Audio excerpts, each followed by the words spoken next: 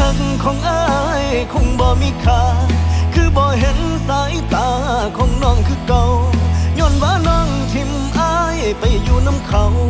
ทิมความหักสองเฮาไว้กลางทางเจ้าคือหูบ่นอว่ามีคนบางคนเสียใจ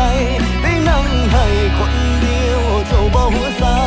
ย้อนว่าน้องหักเขาปานเป็นเทวดาไอ้สมาเมื่อข้าเจ้าบ่สน 在。意